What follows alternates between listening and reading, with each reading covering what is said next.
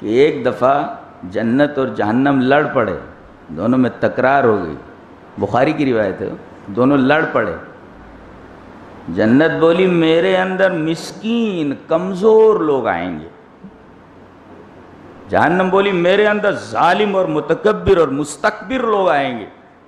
تو اللہ نے فیصلہ اس طرح کیا کہ ٹھیک ہے، اے جہنم، تو میرا عذاب ہے۔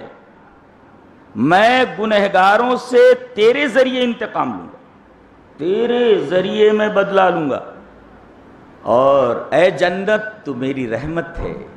میں تیرے ذریعے جس کے اوپر چھاؤں گا، رحمت کروں گا۔ اور میں وعدہ کرتا ہوں کہ تم دونوں کو بھروں گا میں۔ دونوں کو بھروں گا۔ اور یہ تمام لوگ جنت میں جانے کے بعد، جہنم میں جانے کے بعد نہ تو جنت بھرے گی اور نہ جہنم بھرے گی۔ اللہ پوچھے گا، میں نے تو وعدہ کیا تھا تجھے بھرنے کا۔ وَيَوْمَ نَقُولُ لِجَهَنَّمَ حَلِمْ تَلَأْتِي ارے بی، بھر گئیں۔ اتنے ڈال دیے ہم نے۔ اور کتنے لوگ ڈالے جائیں گے معلوم ہے؟ تمام مخلوق، جن و انس میں سے، ہزار میں سے نو سو ننانوے اس کی خوراک ہے۔ جہنم کی اور ایک جنت کی خوراک نقطہ یہ ملا کہ دنیا میں برے لوگ بہت زیادہ ہیں، اچھے لوگ بہت کم ہیں، بہت کم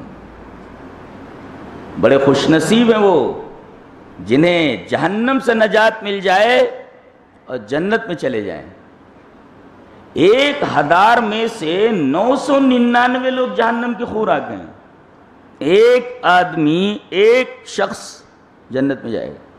اللہ پوچھے گا نو سو ننانوے ایک ہزار میں۔ اتنے لوگ ڈالے جانے کے بعد اللہ جب پوچھے گا، بھرنے کا وعدہ کیا؟ پوچھنا تو ہے ہی اسے۔ حلیم تلاتی، میں نے اپنا وعدہ پورا کر لیا۔ بھر گئی اسے تو معلوم ہی ہے۔ پوچھ رہا ہے اس سے۔ حلیم تلاتی، ارے بھی بھر گئیں۔ بولے گی وہ تقول حلم مزید کیا کچھ اور بھی ہے؟ اللہ، اتنی بڑی ہے، اتنی بڑی ہے۔ اتنے لوگ سارے جہنمی جہنم میں پہنچ جانے کے بعد وہ بھی نو سو ننانوے، ایک ہزار میں سے۔ نو سو۔ اس کے بعد اس کا پیٹ نہیں بھر رہا ہے۔ تو اللہ فرمائے گا، بھرنے کا وعدہ کیا ہے تو اپنا پیر رکھ دے گا۔ اس سے معلوم ہوا کہ اللہ تبارک و تعالیٰ کے ہاتھ بھی اللہ کا پیر بھی ہے، کیفیت مجھول ہے، معلوم نہیں۔ پیر کیسا ہے، ہاتھ کیسا ہے؟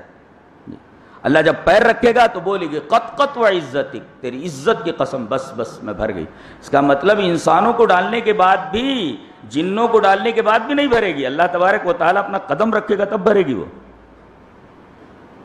تو قدم رکھے گا، کیوں؟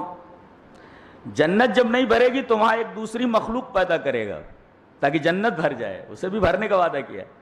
تو ایسا کیوں نہ کیا؟ کہ یہاں پیر رکھنے کی کیا ضرورت تھی؟ یہاں بھی مخلوق بنا دیتا۔ پتہ یہ چلا کہ اللہ رحیم ہے، بلا وجہ کسی کو پیدا کر کے جہنم کا عذاب نہیں دینا چاہتا۔ ہاں اس کا فضل ہے۔ فضل ہے اس کا۔ کسی کو بغیر کسی نیکی کے پیدا کر کے جہنم میں جنت کے اندر لے جا کر کے ڈال دے اور جہنم سے بچا لے۔ یہ اللہ کا رحم ہے۔ ایک ہے عدل اور ایک ہے فضل۔ ایک ہے عدل، ایک ہے فضل۔ اگر کسی مخلوق کو پیدا کر کے جہنم میں ڈال دیتا تو یہ اس کے عدل کے خلاف تھا۔ اور اگر کسی مخلوق کو بنا کر کے جنت میں ڈال دے بلا کسی نیکی کے، تو یہ اس کا فضل ہے۔ اللہ عادل بھی ہے اور اللہ فضل بھی کہتا ہے۔ واللہ ذو فضل علی العالمین۔ اللہ تبارک و تعالی فضل والا ہے۔